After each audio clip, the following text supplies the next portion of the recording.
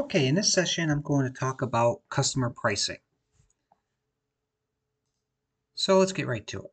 I'm going to go to customers and I'm going to go into the customer. This is just one way of doing it. That's not the only way of doing it, but I'm going to go into customers prices. And in here, I could dictate whether I want to set special pricing on a customer by customer basis for all customers or maybe a tier level price group, which they refer them as of. So right now, for simplicity purposes, I am going to choose all customers. So basically, I'm going to build my table for all my customers across the board, right? So with that, I would choose an item with its unit measure. So I have pieces or packs, right? So every time they purchase this item, a piece of this item, the minimum quantity is zero, meaning whether they order one or a thousand or however many, they're going to get it for this standard price. So let's just say it's going to be 24.50. Okay, I could also put it as a starting end date, meaning that if it's a yearly price table that I want to set up and I change my prices every year, every six months, every quarter, right? It's all going to be based on start ending dates. So whatever starting ending dates I put in here. So for example, if I go in and put in you know, say it's a yearly price table, then my pricing, oops, is going to be from January 1 through 1231. My price for this item, each piece, is going to be 24.50. Okay.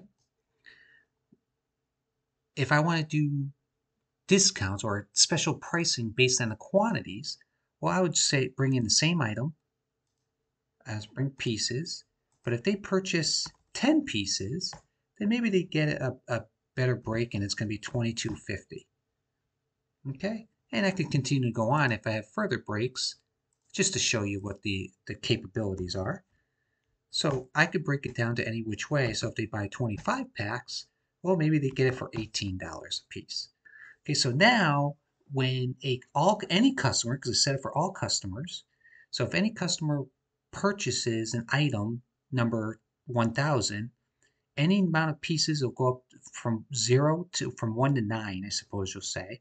They're going to buy it the price will come in at 24.50 if they purchase 10 of them the price will automatically come in at 22.50 and if they purchase anything over 25 they will get it for $18 and of course i could set up the starting end date just like i did here. I just didn't populate it but again i could if it's left open that means it's my standard pricing this is my price table. It's never going to change, but I could control the pricing based on the dates if I wanted to. Okay, so that would be for all customers. So now, just as I mentioned, all customers will get this pricing based on the quantities they purchase for item 1000. Okay, that's one example. Let's try another example. So if I went in and did by, by price group, I could set up a price group, a, a code, if you will. So by setting up a code, and think of this as your, your tier level pricing. So if I am, so if I just do level one, right, and then I do level two, I'll just stick with one and two. So if I get level one, I'm going to choose this. So for my customer price group level one, and I choose this same item, and its pieces, regardless of what they purchase. So they're going to buy this at $20. And again, I can use starting end dates. And as I drop down again, if it's level 2 for the same item, pieces, if they're level 2, they're going to get it for $17.50.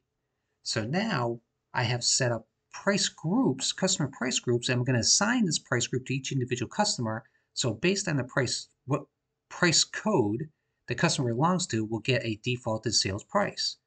So because this is a price group and I created a level one, level two, and again, you have as many different levels, if you will, that you have on the customer card, uh, as you see, I'm, I'm back on the customer card. If I scroll down here, here's my customer price group code. So now in here, I could establish what price group this customer belongs to. So if I say this customer is a level two price group, so now when this customer comes in, when you create a sales order for this customer, the, the system sees that it's a level two customer. So meaning that if it's a level two customer, then that sales order will automatically populate based on this setup table that this customer will get 1750 as a price for those items regardless of how many they buy. And again, just like I showed you earlier, we could do breaks, you know, by quantity breaks at different prices based on how much they buy and so forth. But you could set up by, my first example was for all customers. The second example was by customer price group.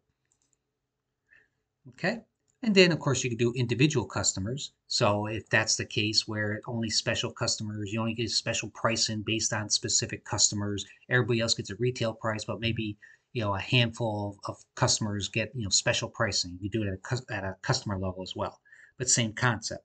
You know, you set up based on the customer, whether it's a sales code level, it's all customers, or specific individual customers. You would set up by which items are they purchasing, which in theory would be all your inventory items how many are they buying, and what unit of measure for the price group. So it's a nice table. This could be updated as many times as you want. There is what's called a uh, sales price worksheet that will bring in all your current prices and you could actually hit a allocation amount or excuse me a, a factor amount in other words if you want to increase it by 20% you would bring in all of my items with my existing price and from there it'll add a factor of 20% and it'll increase my prices across the board 20%.